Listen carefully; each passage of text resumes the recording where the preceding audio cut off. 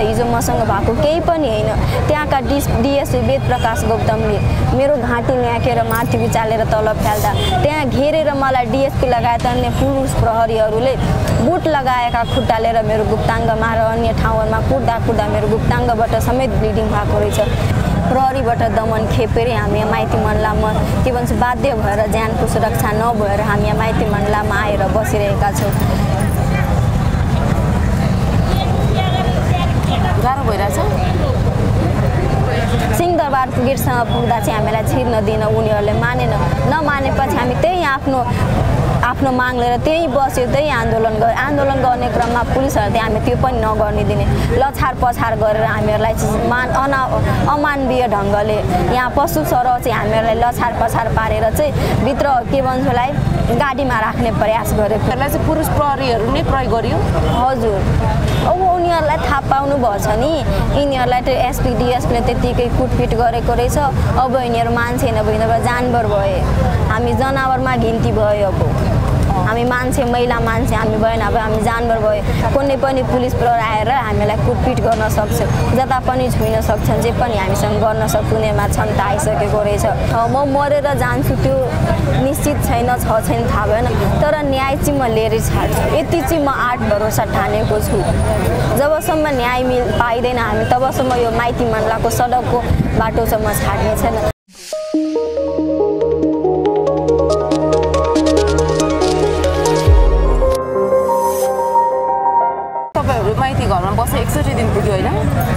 आज हामी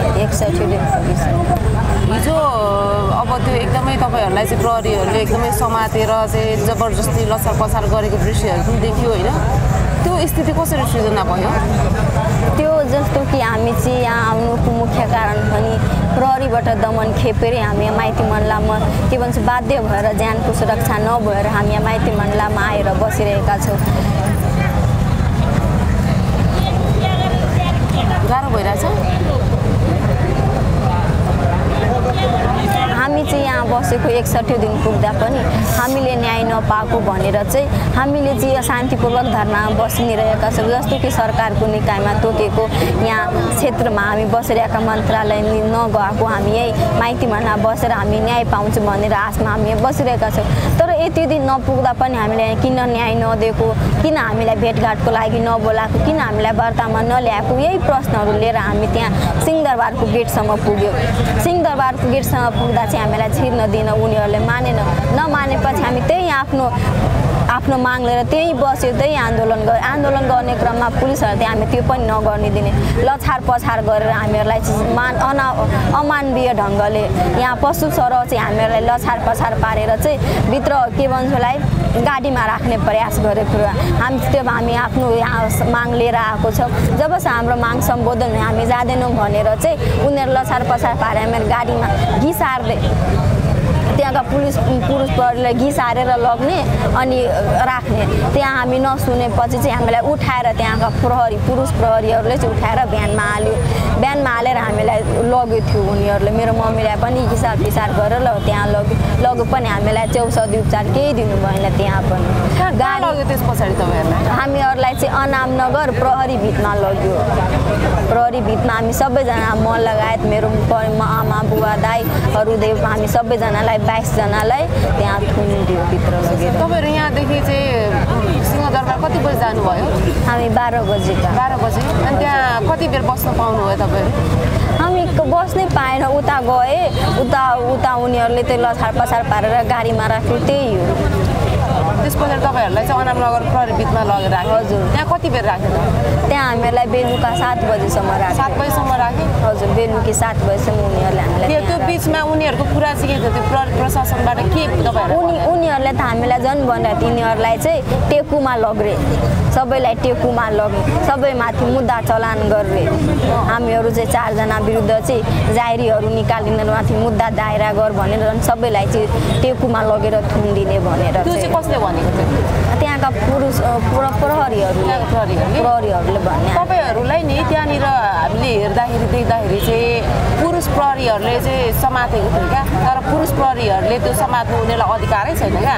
महिलालाई चाहिँ महिलाहरू महिला प्रहरीले नै समाउनु पर्छ क्या। त्यहाँनिर पुरुष प्रहरीले तपाईँहरूको तपाईँको संवेदनशील अङ्गतिर समातेर चाहिँ गाडीमा हालेको जबरजस्ती गरेको दृश्यहरू पनि देखिएको थियो। त्यहाँ कुनै पनि महिला प्रहरीहरू हटाइएको थिएन। उहाँ उनीहरू त्यहाँ हुनुहुन्थ्यो। महिला प्रहरीहरू पनि थिए? हजुर उनीहरू त्यहाँ दुई तिनजनाको सङ्ख्यामा उनीहरू त्यहाँ हुनुहुन्थ्यो। तर तपाईँहरूलाई चाहिँ पुरुष प्रहरीहरू नै प्रयोग गरियो? हजुर। अब उनीहरूलाई थाहा पाउनु भएछ नि। यिनीहरूलाई त्यो एसपी डिएसपीले त्यत्तिकै कुटपिट गरेको रहेछ। अब यिनीहरू मान्छे नभए यिनीहरू जानवर भए। हामी जनावरमा घिन्ती भयो अब। हामी मान्छे महिला मान्छे हामी भएन अब हामी जानवर भयो कुनै पनि पुलिस प्रहरी आएर हामीलाई कुटपिट गर्न सक्छ। जता पनि छुइन सक्छन् जे पनि हामीसँग गर्न सक्छ उनीहरूमा क्षमता आइसकेको रहेछ। किनभने हामीलाई ज्येष्ठ बत्तिस गते पनि जिल्ला प्रहरी कार्यालयमा बोलाएको रहेछ। बोलाउने उनीहरूले बयान दिनलाई बोलाएपछि त्यहाँका उनीहरूले भनेको पेपरमा साइन नगरेपछि त्यहाँका डिएसपी वेद प्रकाश गौतमले जुन अमानवीय ढङ्ग मसँग व्यवहार गर्नुभयो त्यो हेरेर कसैको पनि भित्र आत्मा कल्पिन्छ। तर यहाँ हाम्रो न्याय दिने सरकारहरू कहिलेसम्म कल्पना त्यसका अनुपातमा त हिजो मसँग भएको केही पनि होइन। त्यहाँका डिस डिएसपी वेद प्रकाश गौतमले मेरो घाँटी ल्याकेर माथि उचालेर तल फ्याल्दा त्यहाँ घेरेर मलाई डिएसपी लगायत अन्य पुरुष प्रहरीहरूले बुट लगाएका खुट्टालेर मेरो गुप्ताङ्गमा र अन्य ठाउँहरूमा कुट्दा कुट्दा मेरो गुप्ताङ्गबाट समेत ब्लिडिङ भएको रहेछ। त्यहाँका एसपी विश्वराज खड्काले हामीलाई आदेश दिए अनुसार चाहिँ हामीलाई ढोक दिने। मेरो आमालाई त्यहाँका पुरुष प्रहरीहरूले कुटपिट गरेर मेरो आमाको कानको जाली समेत फुटिसकेको रहेछ। मेरो कानको जाली मेरो आमा सुन्ने छैन। उहाँको अपरेसन गराउने अवस्था आइसकेको हामीसँग पैसा नभएर चाहिँ डाक्टरले चाहिँ हामीलाई भन्नुभएको रहेछ। उहाँको चाँडोभन्दा चाँडो उपचार गराउनु अपरेसन गराउनु नत्र उनको ज्यानको सुरक्षा पनि भएन भनेर चाहिँ डक्टरले भनेको रहेछ। त्यसपछि त्यहाँका एसपीहरूले चाहिँ हामीलाई ज्यानमार धम्की समेत दिएको रहेछ। एसपीहरूले चाहिँ हामीलाई चाहिँ गाडी पार्किङ गर्ने ठाउँमा लगेर चाहिँ त्यहाँ खुट्टा ढोग्न लगाएको छ आफ्नो खुट्टा जबरजस्ती आफ्नो खुट्टा ढोग्न लगाएपछि।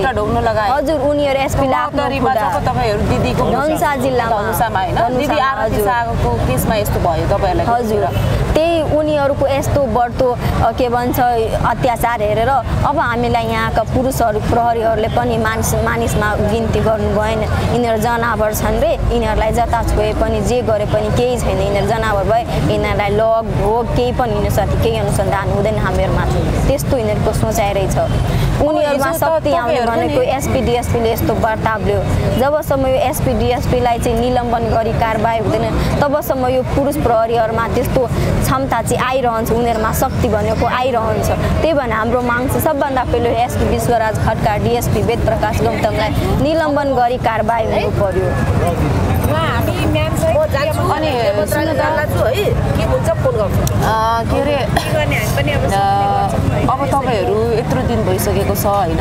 अब हिजो त्यो एकदमै यो दर्दनाक घटना पनि घट्यो तपाईँहरूमाथि होइन? र आज चाहिँ तपाईँहरूलाई भेट्नको लागि कुनै चाहिँ मानव अधिकार कर्मीहरू सङ्घ संस्थाबाट कोही प्रतिनिधिहरू आएको छन् कि छैन? मानव अधिकारहरूको त पुरै नगर्नु न। उहाँ मात्र एसीमा क्याबिनमा बस्नु भएको हामी यहाँ धुलमा धुपमा बाटोमा यहाँ घाम पानी खेपिरहेछ उनीहरूको त काम त आफ्नो केबिनमा बस्नु हाम्रो हामीलाई यहाँ न्याय दिलाउने होइन। हामी माथि अत्याचार भएको उनीहरूलाई केही होइन। उहाँलाई हजुर सोध्न पनि जानुहुन्छ। उहाँको एउटै जवाब आउने हो। हामीलाई त थाहा नै थिएन भनेको। अब जस्तो कि हजुरलाई त मैले घर गएर भनेको छैन नि म माथि यस्तो दुर्व्यवहार भएको छ भनेर।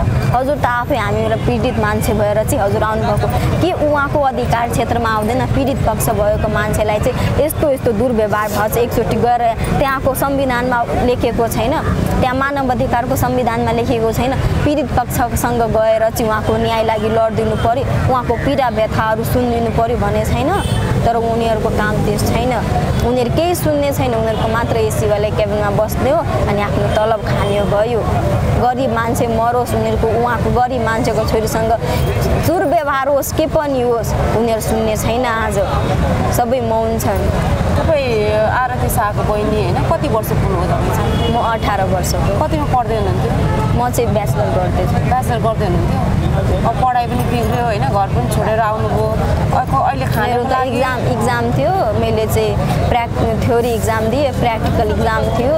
त्यो पनि दिन भइएन छुट्यो त्यो पनि होइन?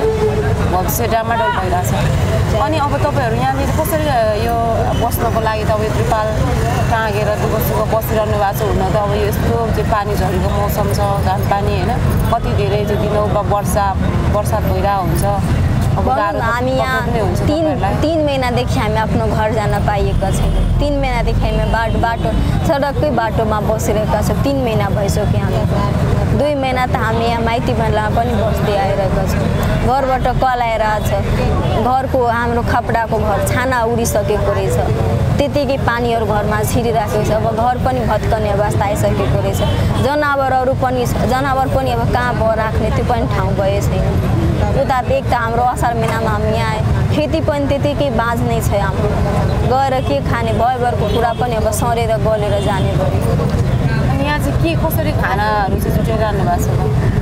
यहाँ चाहिँ हामीलाई एउटा महाकाल युवा समूह भन्ने संस्था उहाँले चाहिँ हामीलाई चाहिँ भात दाल तरकारी दुई छाक चाहिँ उहाँले पुर्याइदिनु भएको रहेछ। त्यो चाहिँ बिहान बेलुका दुई साल चाहिँ त त्यहाँ संस्थाबाट आइरहेछ होइन। अब भोक त दिउँसो पनि लाग्छ घर कतिखेर खानुपर्ने अवस्था हुन्छ। त्यो चाहिँ के छ त्यस्तोहरू चाहिँ?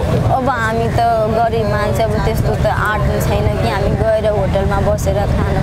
त्यस्तै हो भोक भोकै। पहिले त महाकाल नहुँदा त हामी दिन दिनै भोकेरै बस्थ्यौँ हामी त। कहिले भोक अब यत्रो दिन भइसक्यो है अब न्याय माग्नको लागि सिंहदरबारमा जाँदा अब त्यस्तो खालको चाहिँ प्रति उत्तर पनि पाइरहनु भएको छ।